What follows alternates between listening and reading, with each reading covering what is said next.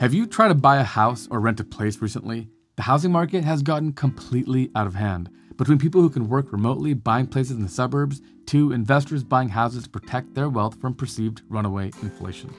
So, with so much talk about affordable housing, what are we actually doing about it? Well, that's why I drove out in 118 degree weather to Las Vegas and met with a fascinating startup called Boxabl. Hey guys, this is Galliano Tiramani from Boxabl here at our new factory. I want to say thank you so much uh, to Ricky for having me on your channel. If you want to learn more about Boxabl, please check out our website, check out our YouTube. We are going to keep everyone updated on social media and we'll keep posting more and more videos of the action as this factory comes alive. Boxabl builds modular houses that can easily be transported on flatbed trucks for a fraction of the price of building homes on site. So, does Boxabl finally have a blueprint for solving our affordable housing crisis? Also, if we can solve our housing issues here on Earth, might this also prove to be the strategy for starting to colonize Mars? Yeah, this video isn't just about solving housing here on Earth. We're going interplanetary on our deep dive this week here on Two Bit da Vinci. Special thanks to Brilliant for sponsoring this video. Feed your curiosity for math and science with the link in the description. There's an analogy floating around the interweb that goes something like this. Imagine if you go online and buy a Tesla. Then, a few months later, a few guys show up with a tool belt full of tools and heaps of metal and welding tools and start sawing and banging away and handcrafting your car in your driveway. As absurd as all that sounds, this is exactly how we're building our houses today. In fact, Homes are probably the only thing in our lives that aren't automated and produced in a massive factory by the thousands. Sure, unlike laptops or cars, houses are massive and there's no possible way we could be building them inside of factories, is there? Well, that's exactly the mission statement of the modular home company Boxabl, who's got a novel idea. If buildings weren't so big, they would already be mass produced in a factory. The core reason they're not is just they're just way too big to ship. Traditional modular manufactured housing ships a wide load. Uh, uh, some other startups have some other solutions for it, which mainly are just shipping smaller eight foot room modules, which doesn't make sense for, from a couple perspectives. One, if you're gonna sell an eight foot room, that's not necessarily desirable. You're not gonna have a big market. It's not pleasant. And then uh, the other thing they'll do is they'll stitch multiple eight foot rooms together. But then you're back with a tremendous amount of site work. You know, when you're stitching open walls together on site, guess who's back? The electrician's back, the painter's back, the plumber, everyone. So, you know, we want to get away from that. When fully folded up, a Boxabl modular home has a similar footprint to a container house or a mobile home that can easily be transported on a standard flatbed truck. But in just a few hours, some unfolding magic and fasteners later, that 8.5 foot package transforms into a 20 foot wide house. Like most other modular home builders, Boxabl lets you choose various lengths, with 20 by 20 being their smallest size. You could also opt for larger sizes up to 40 feet and eventually even 60 feet. Since one dimension is kept constant at 20 feet for their patented folding design, it means all their configurations will be easily transportable.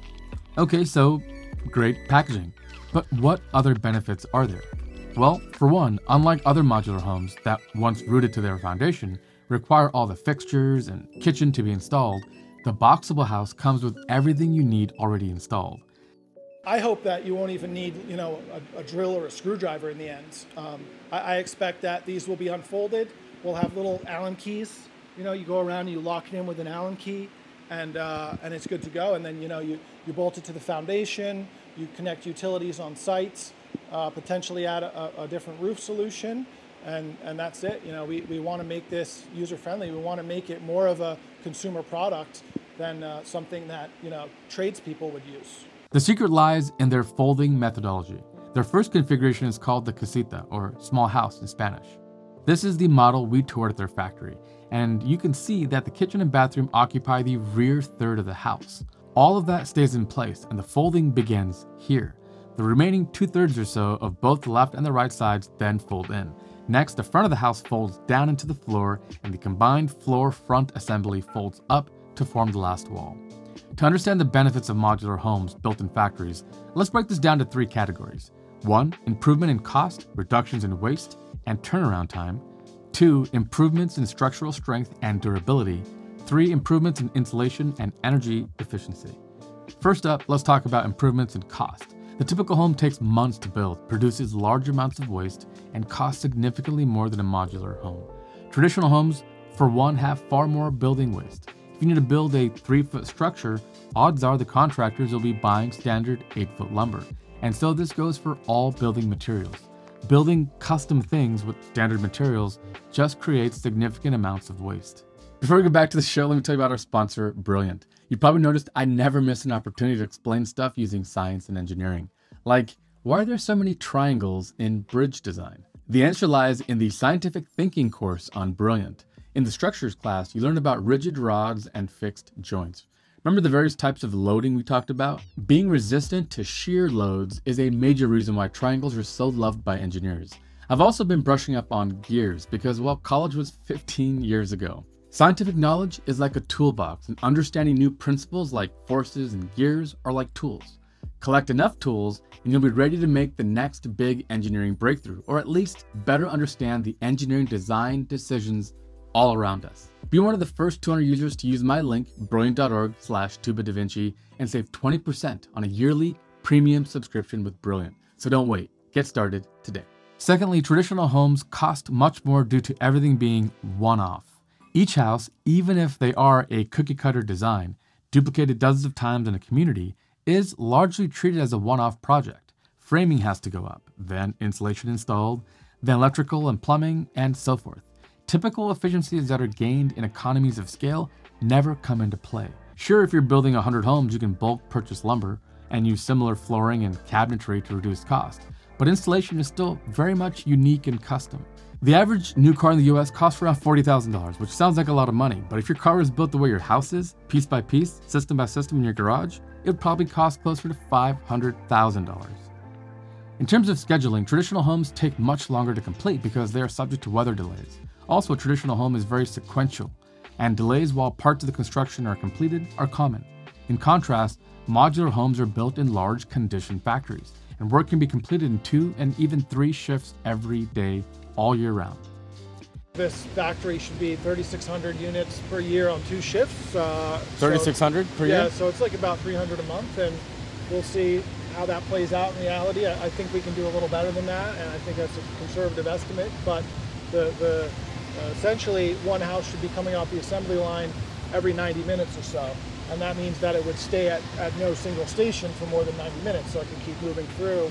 Uh, and then when you think about like what these stations are, I don't think anything is going to take that long once we get it dialed in. Additionally, modular construction is much easier to break up and build at the same time. All of this makes modular homes far more schedule efficient. And if our goal is large amounts of affordable housing, this is absolutely critical.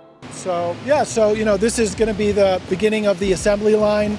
Uh, all the kind of raw materials will be, you know, uh, stacked up around here. Uh, pretty much all of those raw materials are uh, pre-cut by CNC and, and formed and and uh, whatever the process is to very accurate precision subcomponents. Uh, so, so this can, is after all that. This is the the start of the assembly process. Yeah, yeah. So, so, where would the CNC cutting happen? Is it still in this factory? We do some some of that stuff here, and some of it gets brought in from a, a third party that does it. Um, like so, you know, that's that's some of the. Uh, uh, well, actually, in the corner over there is the, the CNC, but it's not set up just yet. It's got a tarp over it. It's all going to be stacked up here, and then this is this is one of the really important pieces of equipment um, where basically uh, this is a conveyor table. Um, uh, initially, uh, these um, jib cranes are going to have uh, vacuum assisted lifters on them. So a guy can just, with little effort, pick it up and place it. And eventually, early on, that'll be replaced with a robot arm. Um, but not at first. We got to figure out the basics uh, first. And uh, yeah, so then they're just going to essentially lay out, uh, you know, for example, the, the exterior uh, wallboard, they'll lay it out here um, about uh, four, four feet wide each, so five pieces per, per 20 foot wall. And then this right here uh, extrudes polyurethane adhesive. And then uh, we have EPS foam, which is the core of the wall, which is uh, cut uh, precision by a, by a third party. Uh, we'll, we'll, probably eventually bring that in house. That'll be one of the. Is that the insulation part? Yeah, that's the insulation. it's insulation. It's also structural. On top of that is, is another ceramic board for the interior wall, And then we also have some like PVC extrusions uh, that go around kind of around the perimeter. Those serve as uh, uh, an end cap to the panel, a hinge where it folds, and then also a gasket so it can kind of seal up like a car door. So that's just a really nice process for, for assembling the, the wall panels quickly. And then uh, they eventually get fed into this right here. After the adhesive's applied, uh, it needs to cure uh, for a certain amount of time. While it's curing, it needs to um, vacuum? Uh, yeah, it needs to be under pressure so that it just held in place. So the cool thing about this particular piece of equipment that we have is this is actually four vacuum presses on top of each other. I was about to ask you that. Yeah, so, so this will raise up and down and the panels will feed in. Um, so we can get two 20 foot panels uh, on, on, each one and then uh, it'll just be a continuous throughput. Basically three of the, the, the presses will be curing and one will just be getting loaded, unloaded. Let's switch gears and talk about how Boxabl's building approach compares with traditional homes in terms of strength and durability. Traditional homes are typically built with bricks and mortar or wood framing.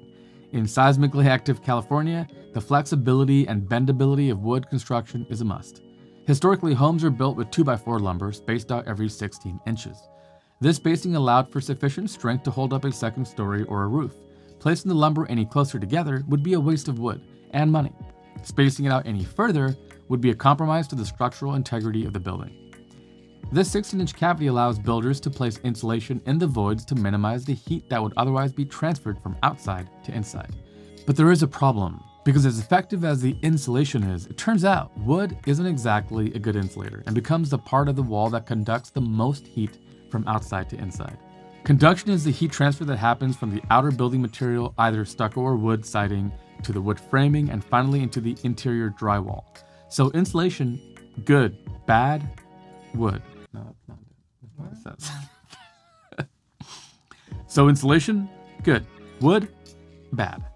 This is the driving factor for modern builders to switch from 2x4 lumber to 2x6 lumber, which most modern homes are built with. This extra wood allows buildings in certain places where building codes permit to use larger spacing from 16 to 24 inches, which means more of the wall is filled with insulation and less of it is wood. Plus, by going from 4 to 6 inches in thickness, there's 50% more insulation depth, further improving the thermal insulation of the wall. To better understand why houses are designed the way they are, let's look at some of the stresses your houses are subjected to. 1. Compression and tension. 2. Shear. 3. Bending. 4. Torsion. Compression and tension are easy to understand and are the biggest factors in building a home. When designing a house, we have to consider the whole weight of the house, the second story, the roof, and then make sure we provide enough 2x4s or 2x6s to handle that weight with a safety margin. Tension is the opposite, a pulling force. Then there's shear, which is a sliding force. With shear, you've probably seen that most houses have a particle board wall along with the 2x4s, and that's because without it, the shear of a house would allow it to just fall apart and fold flat on itself. A shear wall helps to prevent this. With a Boxabl modular home, things are quite different. Uh, so I'm Kyle Denman. I'm the Director of Engineering. I'm one of the uh, founders along with uh, Paolo and Galliano Tiramani. And uh, yeah, uh, at the end of the day, they're my designs that get made. So we're on maybe our 20th iteration of design. Uh, it's, it's, really changed a lot. Um, and the goal is always to come up with the strongest, uh, most manufacturable, and best cost solution. Um, so we actually had the original design was a kind of stick frame version, uh, and then we found uh, SIPs, structurally insulated panels, as an alternate design because it's more suited for manufacturing because um, you can just laminate panels very quickly and you end up with a really, really strong structure that's very lightweight. So for their size, a six-inch wall that's 20 feet long and nine foot tall, uh, we're about two times stronger in uh, uh, transverse and shear loading than traditional construction would be. Wow. And axial were pretty similar. Wall insulations are measured in R ratings, where the larger the number, the better the insulation. But there's a problem with how traditional homes are measured, because if R32 insulation was installed in your wall, that would be the rating that it would take. But that doesn't account for the fact that the wood framing is nowhere near R32, and as a result, holistic insulation value of the entire wall would be much lower. In contrast, the Boxabl wall doesn't have this issue. The wall is uniform and the insulation spans the entire structure. This means that an R20 wall on a Boxabl home is far more insulated than the R20 wall in a traditional home. Combine all of this with the fact that these walls can be mass produced one after another in their factory, and the impressive list of benefits comes clearly into focus. Cheaper, faster to build, stronger, and better insulated. If we're serious about solving some of our housing shortages, this approach is most assuredly going to factor in. High end homes will continue to be built the way they are, but there is no way we can provide affordable housing for millions without rethinking the very way homes are built.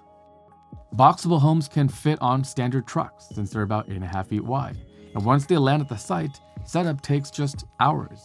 You don't need to schedule plumbers and cabinet makers or anything else. Now, Boxabl is still a startup. They've iterated on their design numerous times to get to this point. They're just starting to build out their factory, and we were one of the first to see their new space. In the coming months, they'll need to complete the build out and get to the hard work of scaling up manufacturing.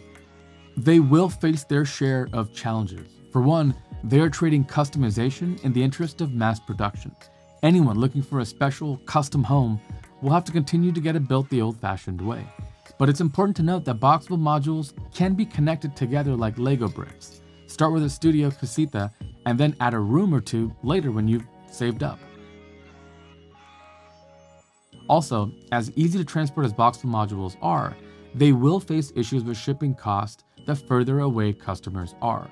So as they grow, they'll have to start building future factories closer to their end customers. This will be a delicate balance and a business model limitation they're going to have to manage carefully. But as cool as all of that is, here's what has me the most excited. Whatever we come up with to help us with fast, scalable, affording housing here on Earth will be the very things that will help us colonize Mars. Let me take a step back and explain. Colonizing Mars is one of the ultimate chicken or the egg problems. We need secure, covered spaces to truly build out a colony on Mars. But what might the first settlements look like? Well, close your eyes and imagine this. In the near future, starships or other super heavy, reusable, long range spacecraft get loaded up with modular homes that are fully built that can fold up into a compact footprint. They then take to the stars and make the long multi month voyage to Mars. Maybe we need some special equipment or compressed air cartridges that can be deployed to unfold the homes and settle them into their foundations. It could be possible to send 5 to 10 module homes at a time per launch per craft, coordinate a launch of 10 starships at a time, and suddenly you're looking to add 50 to 100 homes per mission to our colony on Mars. These early settlements will give us the ability to house critical personnel, begin to create laboratories, machine shops, and other critical infrastructure. This, I believe, is exactly how the early days of Mars colonization will look like.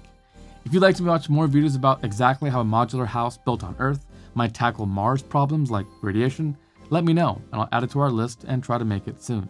Well, that pretty much does it for us here at a look at modular homes and in Boxabl in particular.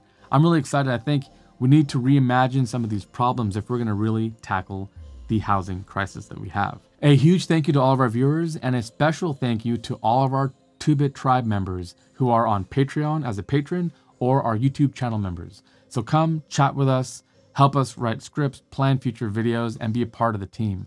All for a small monthly fee that helps to support the show. All right, well, that pretty much does it. Take a look around. There are going to be videos that I think you're going to like. So until next time, I'm Ricky with 2Bit Da Vinci, and remember, the future is going to be awesome.